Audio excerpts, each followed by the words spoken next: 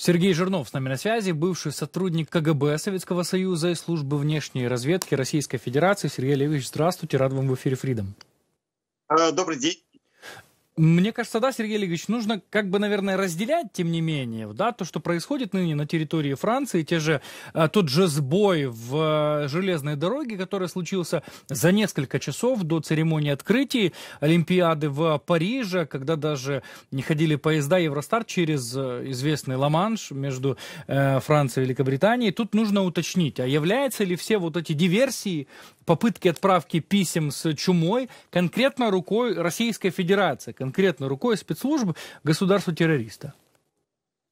Ну, естественно, подозрения, конечно, есть, потому что Российской Федерации э, ей очень не нравится то, что Франция проводит Олимпиаду, ей очень не нравится, что Франция хорошо проводит Олимпиаду, красиво делает открытие. Конечно, это все а, бельмом в глазу у Путина, у Пескова и у прочих а, а, ответственных лиц, так сказать, в Российской Федерации. Но говорить сразу о том, что это российский след, я бы не стал, потому что я вам должен сказать, что во Франции сложная внутриполитическая обстановка уже, по крайней мере, два месяца последних, потому что у нас состоялись европейские выборы, где очень большое количество голосов, 3-4% голосов голосов набрал, набрал национальное объединение Марина Ле Пен. После этого президент Макрон объявил о, дос, о досрочном распуске национального собрания, о назначении новых досрочных выборов э, в э, парламент страны, в Нижнюю палату. И это спровоцировало очень большие внутриполитические, э, ну, внутриполитическую напряженность, проблемы внутриполитические. И у него довольно много врагов внутри Франции без всякой России. Вот. И люди, которые, так сказать, готовы пойти на самый крайний меры, потому что, в общем, по результатам 7 а, июля второго тура а, парламентских выборов а, большее количество голосов по сравнению с другими партиями набрал так называемый новый левый фронт, но президент Макрон не дал ему возможность сформировать правительство. И по этому поводу вот у крайней левых партий есть довольно большое недовольство внутренней политикой правительства, и они готовы его высказывать самыми разными способами, в том числе и диверсионными диверсионными. Это у нас не первый раз такая вещь. У нас, кстати, есть противники э, скоростного движения поездов, которые, у которых тоже, которые знают, как бороться с этими делами, а они знают, где находятся э, чувствительные места э, в этой структуре. Вот. И вы знаете, у нас, откровенно говоря, в последнее время народ смеется на, в СМИ, если можно так сказать, потому что, в общем, французы из любой ситуации пытаются найти какой, какой, какой-то юмор, и они говорят, что вот эти последние диверсии слишком хорошо организованы, чтобы приписывать их Российской Федерации. Потому что если мы посмотрим на все шпионские скандалы последних пяти лет, это обязательно какие-то провалы, это обязательно какие-то люди чуть не в сапогах, чуть ли не в советской военной форме, с ППШ и с э, волочащимися парашютами, которые пытаются отравить Скрипалей, которые пытаются куда-то там залезть, их там ловят за руки, их ловят за ноги, вот, их э, вскрывают э, все их э, личные данные, вот, и, в принципе, за ними сложилась такая э, э, дурная слава, что это люди, которые хотят гадить, гадят много, но у них это, как правило, получается очень непрофессионально, уши их торчат, там не просто уши торчат, а там просто их э, красногвардейские, значит, буденовки торчат из всех мест, и вот эти последние диверсии уж слишком хорошо они организованы для этого, этих российских спецслужб, прежде всего для ГРУ, у которой, ну, репутация не очень квалифицированной разведывательной службы.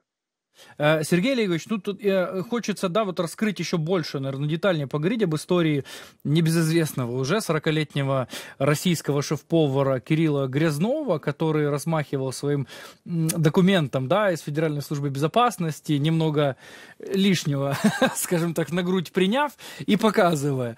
Э, слушайте, ну это довольно громкая история и абсолютно, как мне кажется, смешная в некотором плане, потому что, ну так себя раскрыть, это надо еще уметь на самом самом деле, либо нужно столько выпить, что уже э, непосредственно показывать, на что он э, способен, этот человек. Уроженца Перми подвела любовь, скажем так, к алкоголю. Что за человек э, Грязнов? Как? В целом, я понимаю, что это, наверное, такой вопрос риторический, но этих Грязновых таких, их же могут быть тысячи, да, шеф-поваров, журналистов, водителей и прочих-прочих. Да, вот это как раз э, классический пример, как действуют российские спецслужбы в последнее время. Я вам могу еще привести, мы сейчас поговорим про Грязнова отдельно, но я вам еще напомню, что был а, арест э, некого россиянина с какими-то донбасскими корнями, э, который подорвался, готовясь к диверсии, подобрался сам в гостиничном номере недалеко от аэропорта Руаси недель три назад, вот, на собственной бомбе. И, собственно говоря, вот когда за ней ему пришли там соседи, услышали взрыв, взрыв, вызвали скорую помощь, за ним приехали, и а, выяснилось, что это, оказывается, диверсант, что у него там целый арсенал в этом гостиничном номере, и его тоже арестовали, там и идет следствие по этому поводу. То есть вот когда говорят о россиянах, то говорят, скорее всего, вот о таких каких-то почти комических историях, или, ну, скажем так, трагикомических историй, потому что при всей комичности а, французские контрразведка и французские службы безопасности относятся к этим случаям вполне серьезно, точно так же, как вот к этим гробам, которые россияне а, пытались выложить у подножия Эйфелевой башни тоже месяц тому назад. Вот, потому что это, конечно, гибридная война. Вот в этом смысле я согласен полностью с одним из экспертов, которые э, выступали передо мной. Россия действительно ведет гибридную войну против, э, против Европы. Э, действительно участились попытки таких каких-то взрывов, каких-то каких диверсий, чего, кстати, раньше не было в советское время. Вот в Андроповское время, когда я служил в КГБ, таких вещей не было. То есть тогда, и, кстати, вот на, на, я всегда это рассказываю, на первой лекции в Краснозаменном институте, то есть шпионском институте, где готовят шпионов для КГБ, нам говорили, что когда шпион достает пистолет, разведка на этом закончилась. То есть, грубо говоря, разведка это совсем не Джеймс Бонд, это совсем не взрывы, это совсем не стрельба, это совсем не э, там побегушки по крышам э, и э, поездки на красивых машинах с красивыми женщинами. Это очень скучная, нудная работа по добыванию информации, секретной информации. Ничего общего вот с этими случаями а, настоящая разведка не имеет. Вот. Ну и человек этот Грязнов, который, а, в общем, судя по всему, это, конечно, не кадровый сотрудник ФСБ, это просто агентура ФСБ, вот, потому что кадровому сотруднику ФСБ, во-первых, запрещено вывозить какие-то личные документы,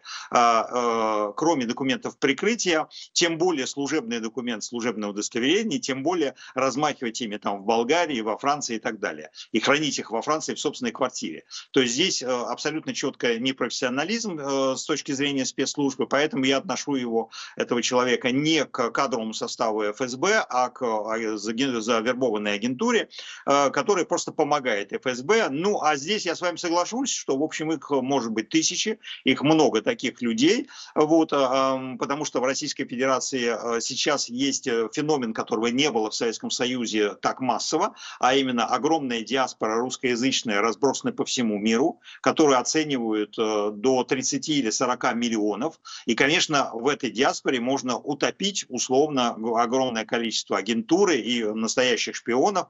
Вот. Э, и, э, конечно, это представляет э, довольно большую, большую опасность.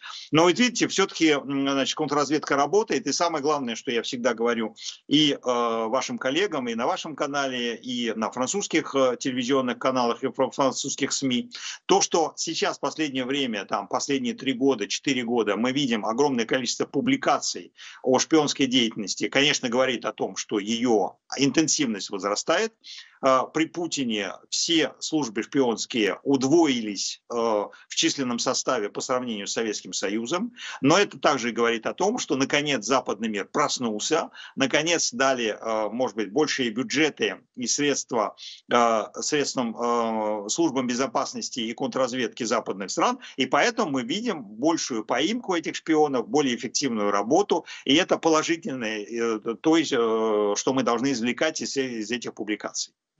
Ну, просто не после каждого, да, раза, вот, как говорится, болгары не восхитились и сдали вот этого вот э, некадрового сотрудника, конечно, но тем не менее не всегда есть вариант такой, что э, вот этот агент, да, если правильно я сейчас называю его, может сам вскрыть себя, как, как консерва.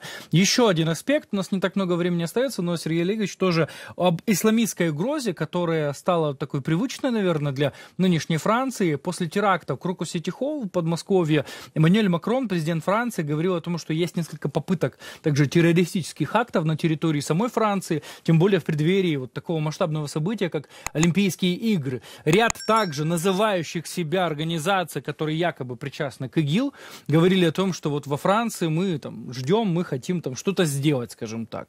Я так понимаю, естественно, пере, как-то преувеличить эту угрозу попросту невозможно. И как Франция ныне пытается противодействовать еще вот этому аспекту реальному, так же реальному, как и российская угроза. У нас буквально полторы минуты.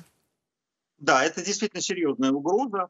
Э, у французов э, последние там 30 э, лет она была основной, и поэтому, кстати, занимались меньше российским шпионажем.